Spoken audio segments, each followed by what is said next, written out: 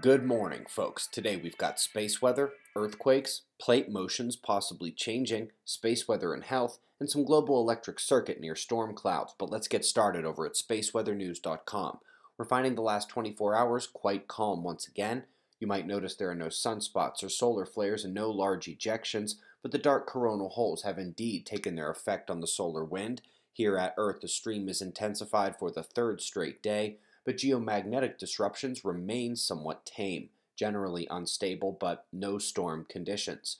There may be more from this system, but even if there isn't, the next one on the north is turning in so close behind them, there will barely be any time between their effects. Eyes on it.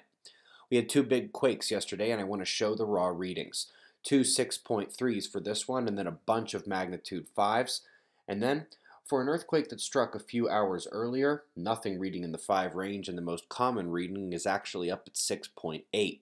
So, how does the USGS see those two different quakes? Somehow being the exact same size, 6.3. Talk about losing some faith in the data analysis there.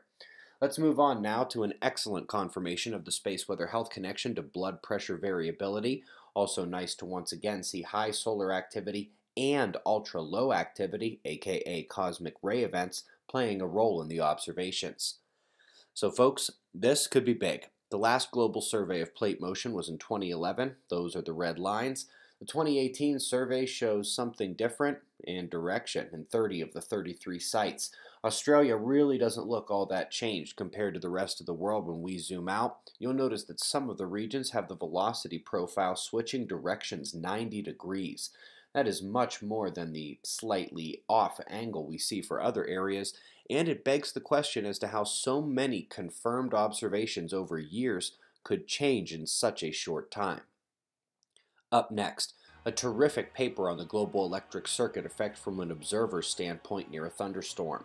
There is a positive anomaly spike during the growth phase of the clouds, various anomalies during the life stages and passage of the system, and then in the wake of the storm where light drizzle persists and the thunder gets fainter and fainter, there is a profound negative anomaly. Just an FYI.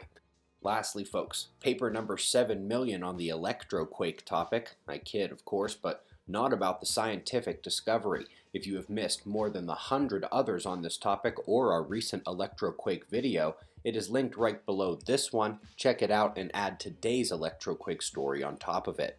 We greatly appreciate your support. We've got your wind maps and shots of our star to close. We'll do this all again tomorrow, right here, but right now it's 5.15 a.m. in the new Valley of the Sun.